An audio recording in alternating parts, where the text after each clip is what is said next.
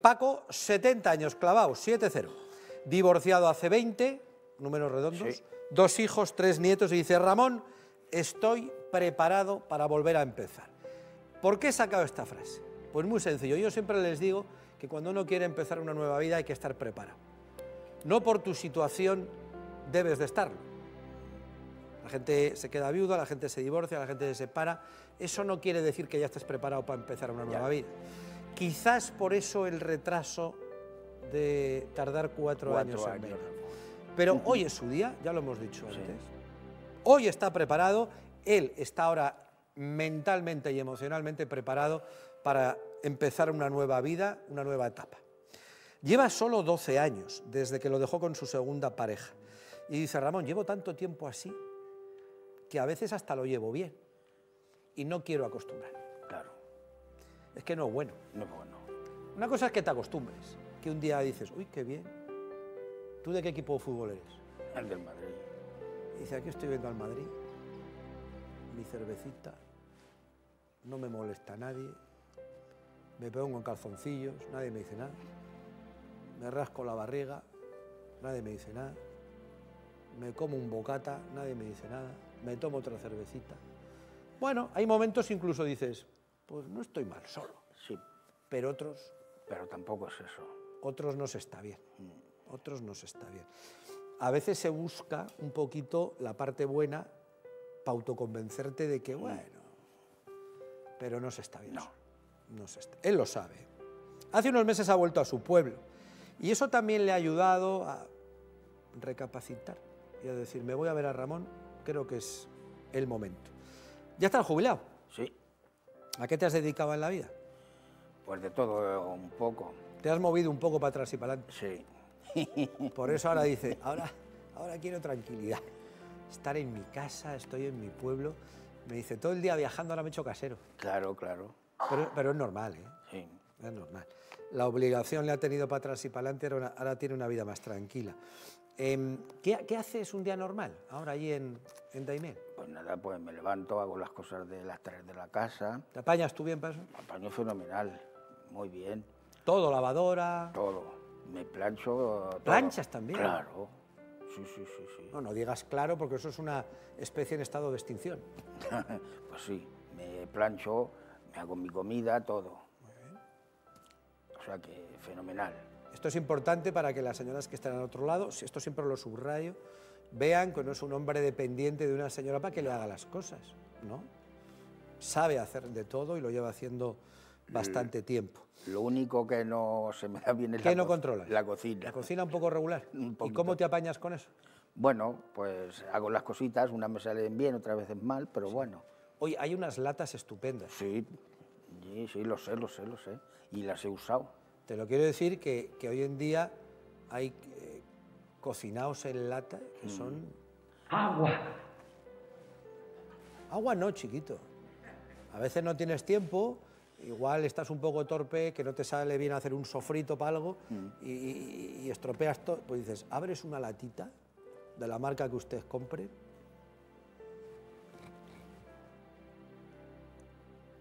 Rin, rin.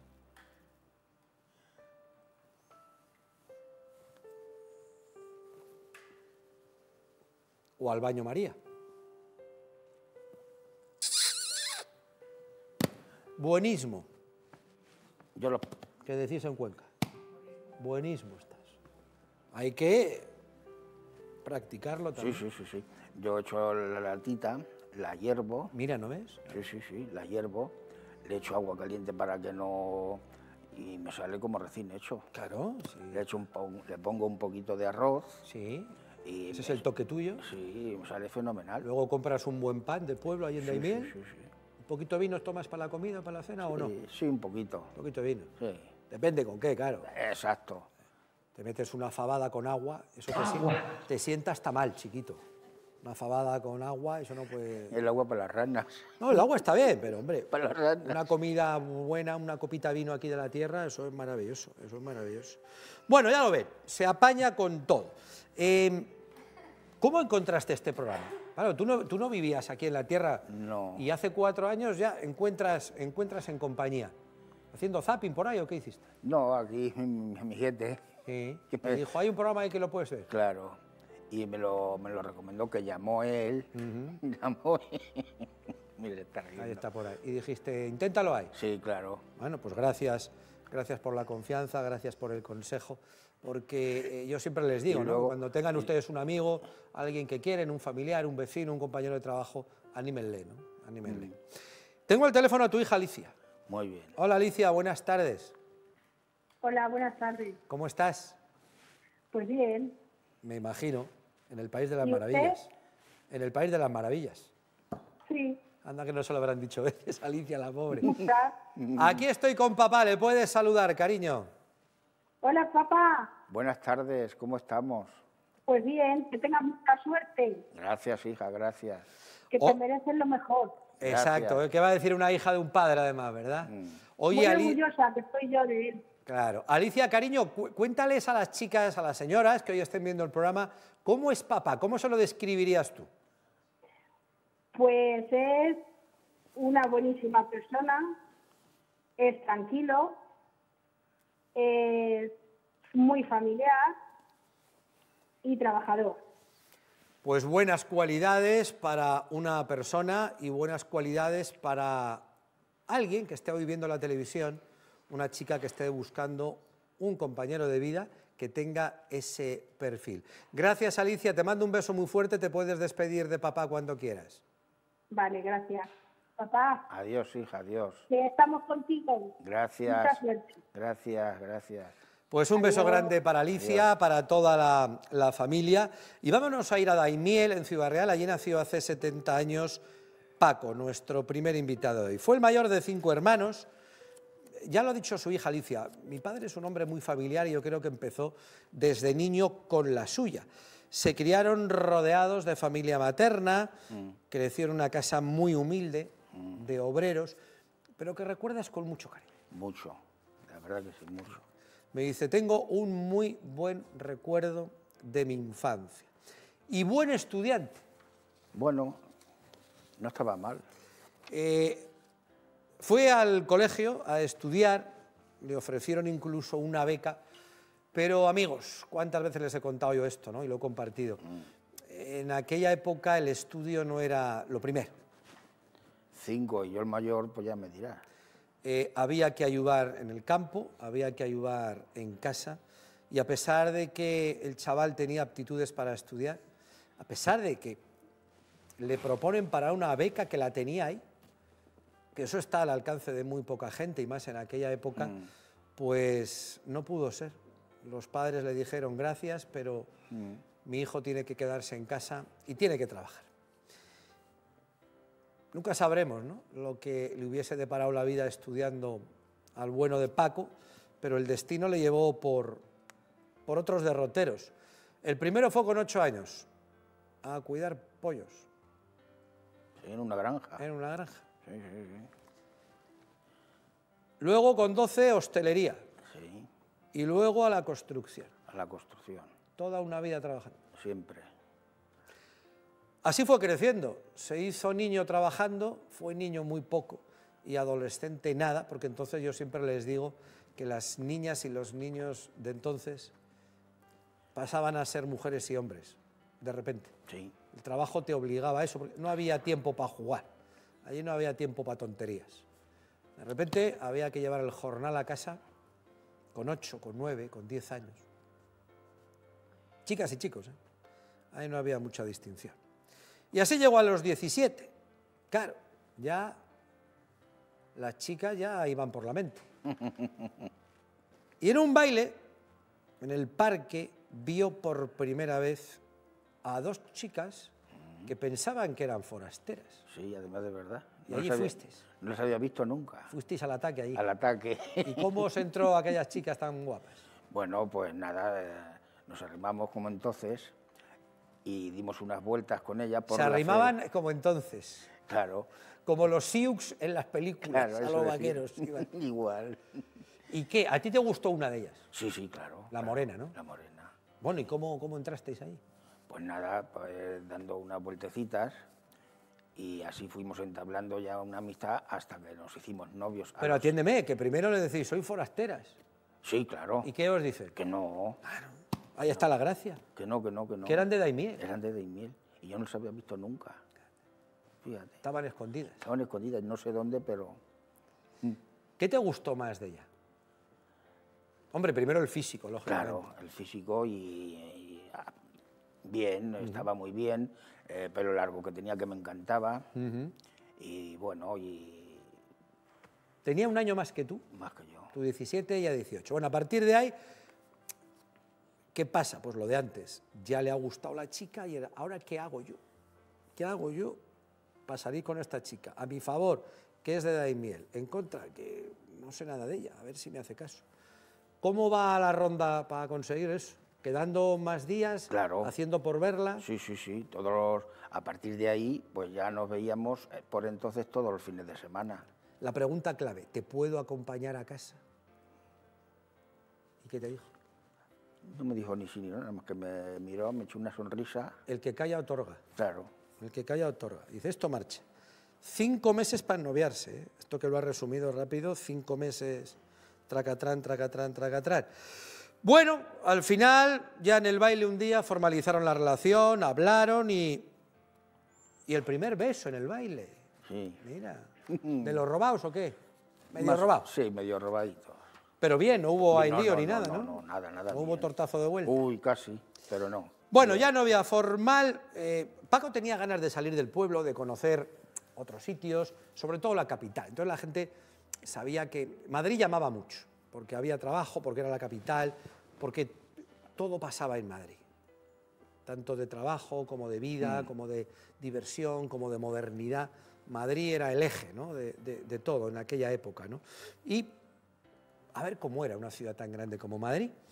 Y allí se fue con su hermano, empezaron a trabajar en la reforma de un patio, buscaron un sitio para quedarse y ahí empiezan a hacerse con Madrid los dos hermanos. Sobre todo tú, tú dices, Esto, este va a ser mi futuro, hay que quedarse aquí. Sí, sí. ¿Qué viste tú en Madrid? En Madrid vi, vi mucha posibilidad de, de progresar y de restablecerme, o sea, muy bien, Esa era la idea, claro, crecer. Mientras tanto, la chica en Daimiel, En Daimiel. por carta. por carta. Os veían los fines Bueno, de semana. exacto. Perfecto. La Mili, ¿dónde sirves? En Toledo, en la, Ah, mira, aquí en Toledo. en la Escuela Central de Educación Física. Mira. ¿Y qué hacías allí? Pues nada, allí, lo normal, allí fui corneta, Corneta. corneta. ¿Qué me dices? sí. Tocaba... A ver, toca mediana. Ahora hay que hacer el labio. Labio ya, sí, sí. Últimamente tenemos muchos. Esto no es Diana. esto es- Esto es atención. Atención. ¡Atención! Marcha de frente Ramón Catalán. Joder. Y retreta, a mí lo de retreta era. Eso era fa. ¿Cómo era retreta? Ya no me acuerdo. ¿Cómo era? Haz así. Es que tengo que me duele un poquito la... Te duele la muela. Sí. Como es.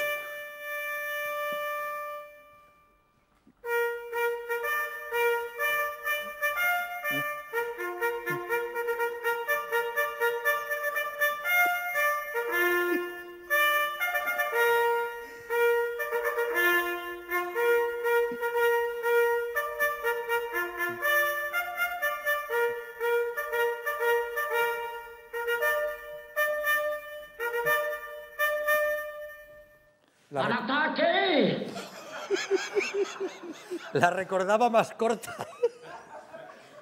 La recordaba más corta. Sí, sí. Es Eso es la- cuando acaba, acababa ya. Es que la, la han tocado entera. Ya tocaba entera. Sí, ¿Y, y Diana, cómo era la Diana? Ya tampoco la Diana. Eso es para cuando nos despertaban. claro. A las duchas. Mm. Joder. A las duchas y hacer deporte, que también... Hacer yo- deporte lo primero. Claro. Vestirse para deporte, venga. ¿Cómo era la Diana, chiquito? ¿Cómo era la.?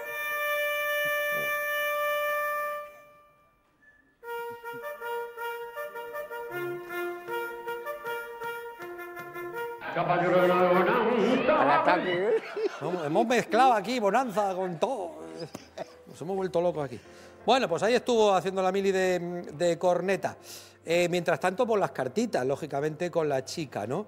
Em, Bueno, él ya, ya han visto que un chico ahorrador, un chico con buena cabeza, se compró un piso en Fuenlabrada, en Madrid, ya mirando para futuro. Acabó la mili, vuelta para Daimiel y te casas en septiembre. Septiembre. Un 24 de septiembre de 1979, con 25 años, parezco el nodo, en Daimiel, en Ciudad Real. 300 invitados. Más o menos. Joder, invitaste a todo el pueblo. No, la familia y los- algunos amigos. Pues menos mal, 300. El cóctel lo celebrasteis en el Salón de las Brujas. Sí, allí. sí. Allí lo pasasteis bien. Invitamos amigos, muy enamorados, tienes un buen recuerdo de todo aquello. ¿no? En aquella época se cortaban las corbatas y eso. Sí, claro. Y se subastaba Se subastaban, sí. ¿Sacaste dinerito o qué? Bueno, los sacaban los que cortaban la corbata, eran para ellos. Sí. Ah, ¿era para ellos? Para los novios nada. Ah, no, no me acuerdo ya de eso. Para ellos. No me acuerdo. Bueno. Acaba, ¿hubo baile? Sí, claro. ¿Y dónde pasáis la primera noche de casaos? ¿En casa, hotel, dónde lo...? En casa, ¿Ya teníais la casa? sí. No, Oh. En casa de unos familiares. De unos familiares. Sí, como compramos el piso en Fuenlabrada, Ah, claro, estabais en Daimiel. estábamos en Daimiel. ¿Qué familiares eran? Los, los hermanos de, de la mujer. De tu mujer. ¿Y ellos se quedaron en casa? No, ellos durmieron en otro sitio. Estabais solos. Sí.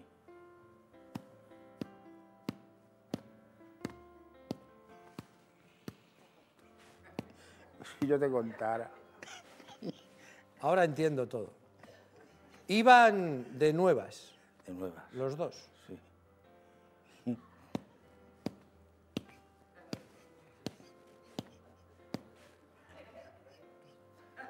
Chicas y chicos de Tarancón, por favor, que levanten la mano los que el día de la noche de bodas hicieron el amor una vez.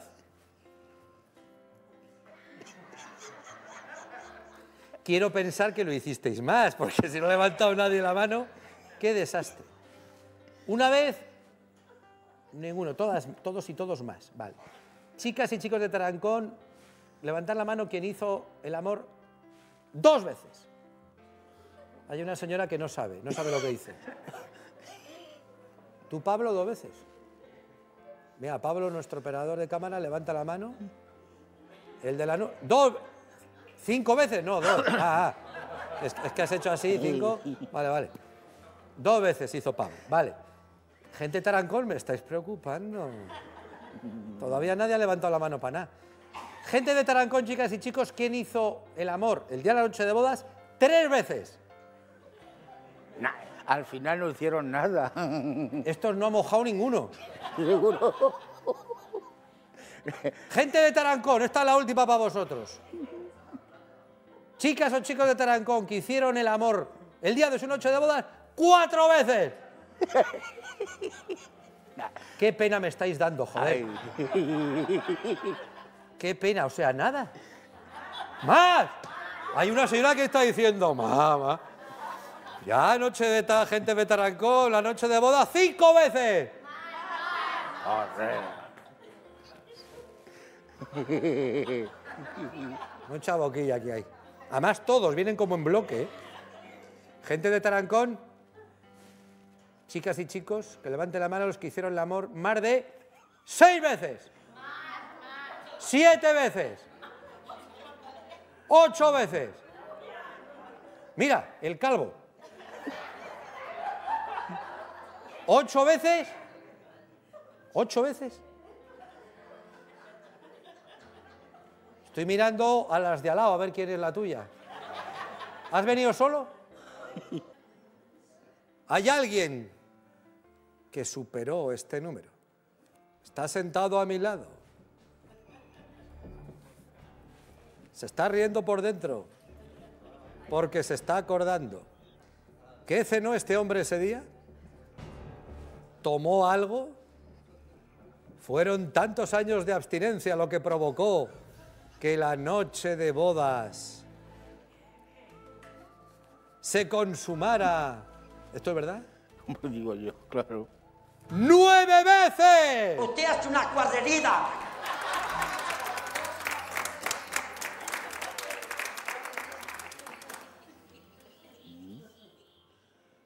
Sí, sí. ¿Pero qué está haciendo con el cuerpo humano? Por muchas cosas.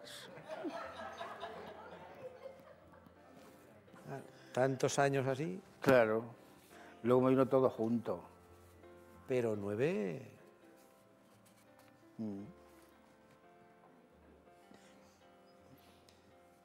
Dice, luego cogí unos días libres, como para no coger. para recuperarse. bueno, es lo que me ha dicho y además con mucha simpatía lo hemos contado, Paco. Gracias por la complicidad. Em, Pasaron su luna de miel, estuvieron por Madrid unos días y empieza la vida matrimonial. Su primera hija con 27 años. Él quería niño, pero dice, ¡ay, mi niña! Ahí ya Claro. se derritió Paco, ¿no? Algo divino, dice. Ser papá ha sido para mí Claro. algo espectacular. Eh, Fíjense qué bonito decía. Estaba deseando acabar el trabajo para ir a casa. Además de verdad. Yo me acuerdo de esta época también. Yo estaba deseando acabar y, y llegar a casa Sí, para sí, coger sí, a, a claro. las niñas. Al de cinco años llegó el niño y con dos hijos, fíjense, ¿se acuerdan que de chaval fue muy buen estudiante? Pues le entró el chincho de estudiar. Sí. Y llegaba por las noches de trabajar y me iba a estudiar por las noches. Esto tiene mucho mérito, ¿no? Decía, yo quería saber, poder ayudar a mis hijos en lo que ellos estudiaban, cuando tenían que hacer deberes, y él, claro, recuerden, no pudo estudiar. ¿Qué hizo? Lo que no se hace de joven lo hizo de mayor. Con el sacrificio que era, ¿eh? porque tenía que cumplir con su horario laboral, luego irse a estudiar a la academia, donde iba, y de esa manera él empezó a aprender para poder ser también una ayuda para, para sus hijos. Dice, fue una época dura, pero, Pero- mereció la pena. Sí, sí, sí. Cuando merece la pena. Totalmente. Fantástico. Bueno, 10 años casados, fíjense, pasamos una década de golpe, y la mujer empieza a flaquear en salud y le dice, cariño, eh, me gustaría volver a Daimiel, al pueblo. He hecho de menos a la familia. Y bueno, pues Paco sabía que su mujer estaba delicada y con mucha pena pones a la venta el piso de, de Fuenlabrada y os compráis uno en, en Daimiel. ¿Qué pasa? Claro, a partir de ahí la vida, sobre todo a Paco, le cambia radical. Claro. Totalmente. Porque tú entre semana trabajando y solo. Y solo. Después de estar ya 12 años juntos, luego ya solo. Era duro. Y los hijos, no Los hijos, no los veía hasta los O sábados. sea, tú de lunes a viernes estabas fuera sí, por tu trabajo y volvías el fin de semana. el fin de semana. ¿Eso cómo afecta al matrimonio? Pues de primeras bien, pero luego parece que no, pero eso va... Sin duda alguna eso pasa, Paco. eh, Aparte de las horas, kilómetros, ir, venir. eh, tuvo una- un accidente gordo, un autobús, Sí. tuvo un accidente, volcó y volcó hacia el lado donde iba él. Dice, tiene el último recuerdo que toda la gente se le cayó encima y se hizo la oscuridad. Los que hemos tenido accidentes de coche o de autobús o lo que sea, siempre te queda para toda la vida eso en la cabeza. ¿eh? Yo siempre digo que a veces yo me despierto con un accidente que tuve yo con 18 años, todavía tengo aquí la marca. Me, me rompí aquí toda la cara. Ahí se ve. Rompí el volante con, con la cara. Y yo hay días que me despierto con el impacto. ¡Pumba! Sí. Estoy soñando Sí, algo y- sí, y, sí, me sí. despierto con el golpe, que es horrible, porque Muy. parece que te pegas otra vez el, el- el golpetazo. sí, ¿no? porque cuando volcó parecía que había chocado A con... ti te pasará lo mismo, a que lo sueñas a Sí, veces. sí, sí. Bueno, pues a raíz de ese accidente se recuperó, quedó alguna secuela, tribunal médico, eh, le dieron una invalidez, tuvo que dejar la obra. Claro. A partir de ese momento hay que reinventarse. Chofer privado, le sale trabajo en una empresa, él siempre volante también, Sí, para atrás, sí, para adelante, se apañó muy bien, una empresa que trabajaba para, estaba en Madrid, su familia en Daimiel, por lo tanto tuvo que continuar Claro. Si no, como... esa separación de tiempo Mm, y de espacio. Claro. Las vueltas a casa empiezan a cambiar. ¿Qué pasa en esas vueltas, Paco? Pues nada, que eh, las cosas no empezaron a ir mal. Cuando decimos se enfría la relación, es, Sí, es la verdad. sí, claro. Sería del tiempo toda la semana por ahí, venía, pues va perdiendo fuerza. Ella hacía su vida, estaba cinco días sola, Paco llegaba y veía a su mujer más distante, los niños ya iban también a su bola. Él empezó, pues bueno, a llegar, a descansar, porque venía cansado. Un buen día, pues, mejor duermo en aquella habitación, así, tal, no nos molestamos, no ronco, tal. Cuando una pareja ya no duerme sola, Ya es mal asunto. mal asunto. Si solo fuese eso, pero es que tampoco ya tenía ni conversación. No, ya nada. Cuando ya no tienes de qué hablar, mal rollo. Mal rollo. Ya se pierde todo y ya no nada. Su mujer me dice, Paco empezó a hablar del divorcio, ¿no? Veía algún grupo de amigas y decía, mira qué bien viven las divorciadas. Ah, De verdad. Y a broma se lo tomaba Paco y decía, pues ya sabes lo que tienes que hacer. Sí, sí. Pero esto medio en broma, medio en serio. Los niños todavía tenían 10 y 15. Eh, me dice un divorcio en nuestra forma de vida en aquel entonces era inviable. Pero después de 26 años de casado, con 50 lo hablaron. Ya no eran bromas, ya se habló en serio. En serio. ¿Y os divorciasteis? Nos ¿Cómo fue eso? ¿Costó? ¿Fue difícil?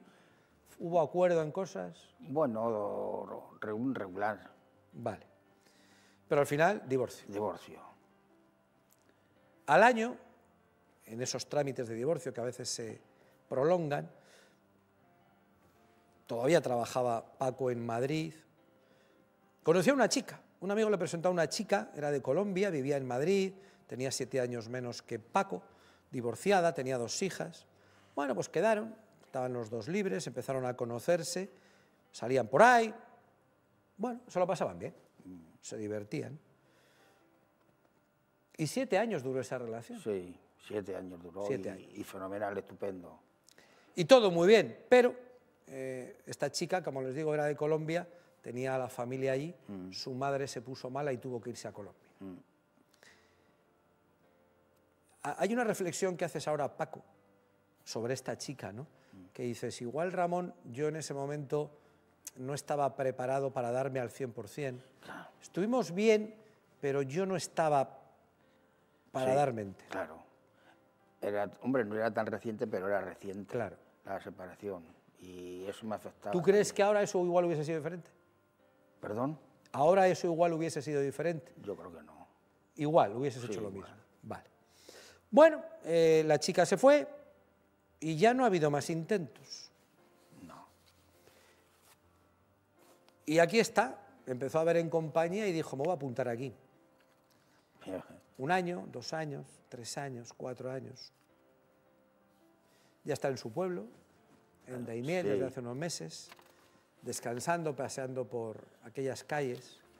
Pero ahora con la tranquilidad ya, ¿no? De estar jubilado, de tomarse las cosas con más calma, de disfrutar de la vida, Pues sí.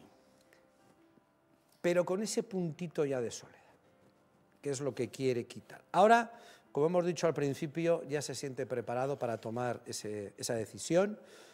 Y como les digo, solo desde hace 12 años, hace 8 meses vuelve aquí, tiene 70 años y busca Paco, una compañera cariñosa y leal, más o menos de su edad, un poquito arriba, un poquito abajo, en esa horquilla, que se cuide, que no fume. Y luego, si no tiene mascotas, mejor. Perfecto, pues lo apunta. Ese es Paco, chicas. Claro que tiene más cosas para contar, pero todo eso lo guardamos para que lo habléis vosotros en privado, si os apuntáis en su lista, en el 925 950 950. Gracias por la confianza, Paco. A vosotros. siempre. Hoy era tu día. Hoy, hoy.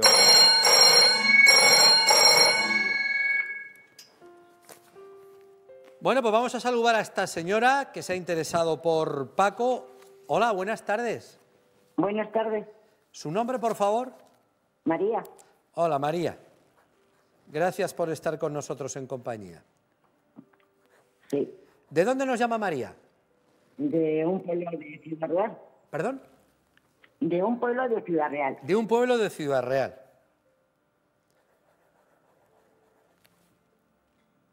Sí, Estoy pensando. ¿Su pueblo está cerca de Herencia? eh, sí, Entonces estáis muy cerca, 50, 60 kilómetros. aproximadamente.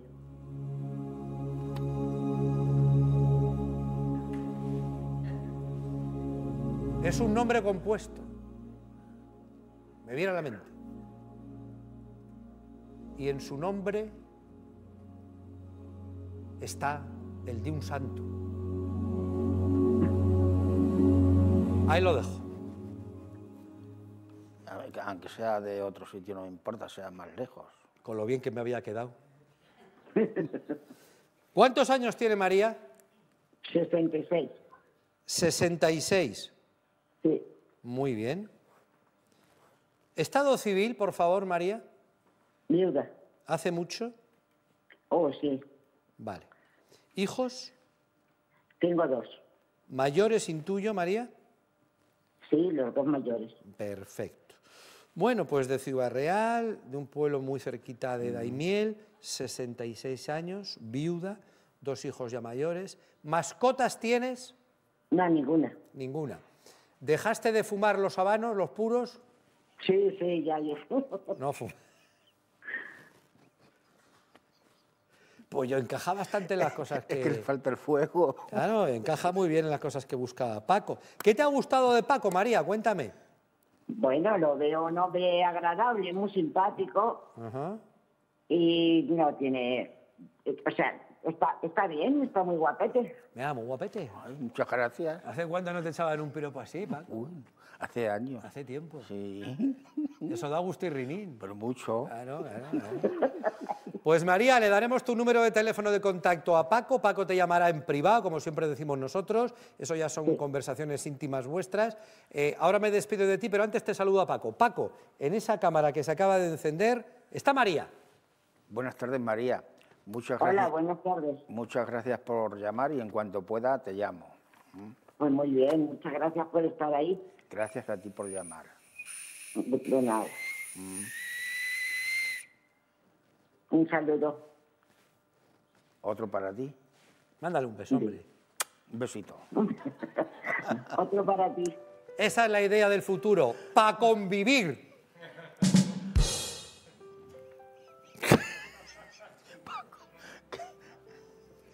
Bueno, pues aquí estamos. Un beso fuerte, María, mucha suerte. Otro para ti, Ramón. Gracias, cariño. Que vaya todo muy bien con, con Paco. Julia Ortiz, buenas tardes. Buenas tardes. Paco lo ha hecho muy bien. Sí. ¿Tú cuando te dijo lo de nueve, tú te lo creíste? Hombre, me lo dijo con mucha convicción. Vale, vale. Pues nada, ¿cómo has visto a tu invitado? Lo he visto muy bien, estoy muy contenta porque es que le ha costado tanto trabajo de verdad venir, ¿eh, Paco?